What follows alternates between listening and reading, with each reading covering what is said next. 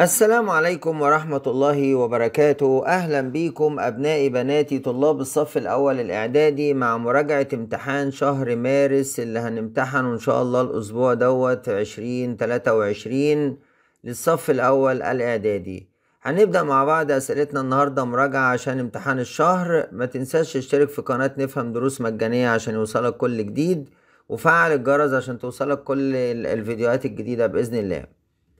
السؤال الأول بيقول اختر الإجابة الصحيحة من أمثلة القوى داخل الأنظمة الحية القصور الذاتي ولا النبض والاحتكاك؟ الإجابة هي هتبقى النبض. كل مما يأتي من أمثلة الحركة الدورية ما عدا حركة القطار ولا المروحة ولا بندول الساعة طبعا حركة القطار حركة انتقالية. السؤال اللي بعد كده بيقول الأجهزة الآتية تعمل بتأثير القوى الكهرومغناطيسية ما عدا المغناطيس الكهربي ولا الدينامو ولا المصباح الكهربي ولا المحرك الكهربي؟ والإجابة هي المصباح الكهربي.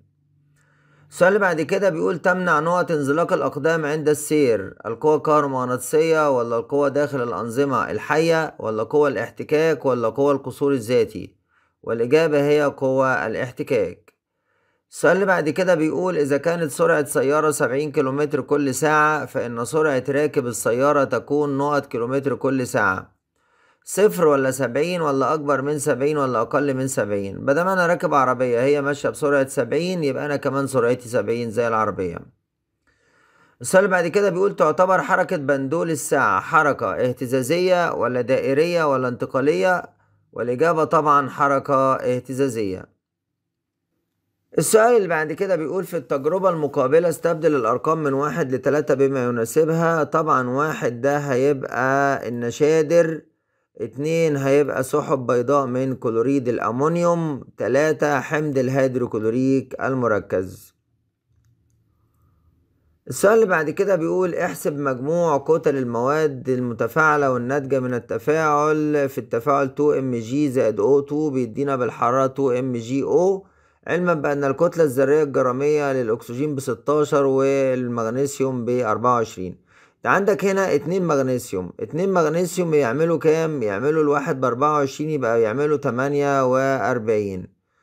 آه، زائد الأكسجين. عندك كام أكسجينة اتنين. الواحدة بستاشر يبقى اتنين وتلاتين. يبقى الجنب ده كده هيعمل كام؟ هيعمل تمانين جرام.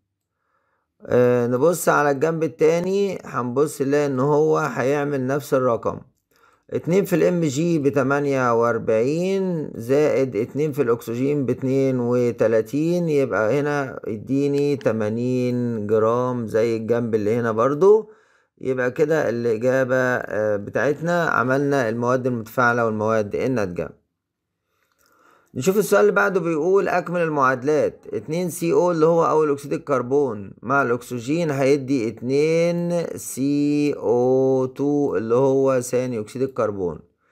اتنين مغنيسيوم زائد O2 هيدينا اتنين أكسيد المغنيسيوم MgO اللي هو أكسيد المغنيسيوم. السؤال اللي بعد كده بيقول جسم كتلته خمسين كيلو جرام احسب وزنه على سطح الأرض علما بأن عجلة الجاذبية بعشرة. هنقول له كده الوزن بيساوي الكتلة مضروبة في عجلة الجاذبية الأرضية. يعني خمسين هنضربها في العشرة هيديني خمسمية نيوتن وهو المطلوب. يبقى كده المسألة اتحلت. السؤال اللي بعد كده بيقول وزن شريط المغنيسيوم قبل اشتعاله نقط وزن المسحوق الأبيض المتكون بعد الاشتعال. طبعا المغنيسيوم قبل الاشتعال مغنيسيوم بس- لكن بعد الاشتعال هيبقى أكسيد مغنيسيوم عن الأكسجين هيزيد فهيبقى الكتلة بتاعته أو الوزن هيبقى أكبر. ينتقل الماء من التربة إلى أوراق النبات بتأثير قوى الجاذبية ولا القوى الحيوية ولا قوى الاحتكاك؟ طبعا القوى الحيوية. تعتبر حركة القمر حول الأرض حركة اهتزازية ولا دائرية ولا انتقالية ولا موجية والإجابة حركة دائرية. تتغير عجلة الجاذبية الأرضية من مكان لآخر على سطح الأرض باختلاف كتل الأجسام ولا كتلة الأرض ولا البعد عن مركز الأرض ولا درجة حرارة الأرض البعد عن مركز الأرض. اندفاع راكب الجواد للأمام إذا توقف الجواد فجأة يرجع إلى قوة القصور الذاتي ولا القوة الطاردة المركزية ولا قوة الجاذبية الأرضية ولا قوة اندفاع الجواد طبعا قوة القصور الذاتي. السؤال اللي بعد كده بيقول يعتبر اتحاد غاز كلوريد الهيدروجين مع غاز النشادر اتحاد مباشر بين عنصر عنصر ولا عنصر ولا مركب ولا مركب مع مركب ولا عنصرين ومركب؟ والإجابة هي مركب مع مركب. السؤال اللي بعد كده بيقول تؤثر قوى القصور الذاتي على الأجسام المتحركة ولا الساكنة ولا المتحركة والساكنة؟ الإجابة المتحركة والساكنة. أي مما يلي لا يعتبر موجات كهرومغناطيسية الأشعة تحت الحمراء ولا الضوء المنظور ولا الصوت؟ والإجابة هي الصوت لأنه من الموجات الميكانيكية. مكتشف الجاذبية هو بلانك ولا نيوتن ولا كولوم؟ وكلنا عارفين إن هو نيوتن. تعتمد فكرة تشحيم الآلات على تقليل وزن الجسم ولا الجاذبية ولا القصور الذاتي ولا قوى الاحتكاك والإجابة هي قوى الاحتكاك. القوة مؤثر يغير حالة الجسم دائما ولا لا يغير حالة الجسم مطلقا ولا يغير موضع واتجاه الجسم دائما ولا قد يغير حالة الجسم أو اتجاه حركته. طبعا القوة مؤثر يغير أو يحاول أن يغير من حالة الجسم. وبالتالي هنا قد يغير من حالة الجسم أو اتجاه حركته. كل مما يأتي يمثل حركة دورية ما عدا حركة كلهم حركة دورية ما عدا حركة البندول بتاع الساعة ولا المروحة ولا القطار ولا أمواج المية والإجابة هي القطار لأنه من الحركات الانتقالية.